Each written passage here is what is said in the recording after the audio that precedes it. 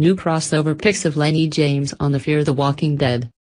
Two new pics of Lennie James as Morgan on The Fear the Walking Dead have been released by U.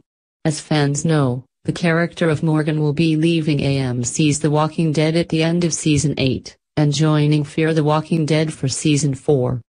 New showrunner Andrew Chambliss, who is taking over with Ian Goldberg, told the site, as Morgan Jones steps into the world of FTWD, He'll be continuing the journey he began on The Walking Dead way back in the pilot.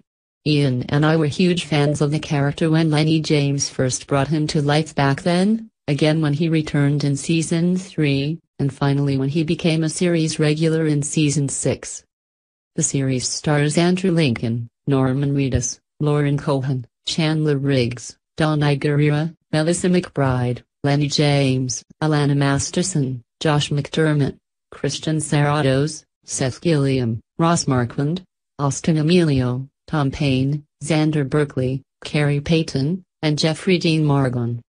Fear the Walking Dead is executive produced by showrunners Andrew Chambliss and Ian Goldberg alongside Robert Kirkman, Gale Anne Hurd, Greg Nicotero, and David Alpert. Kim Dickens stars as Madison along with Frank Dillane as Nick, Alycia Debnam Carey as Alicia, Colman Domingo as Strand and Danay Garcia as Luciana, though the fate of all those characters remains in question for the fourth season.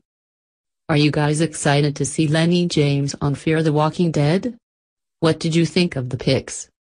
Let us know in the comments. The Walking Dead returns to AMC on February 25th.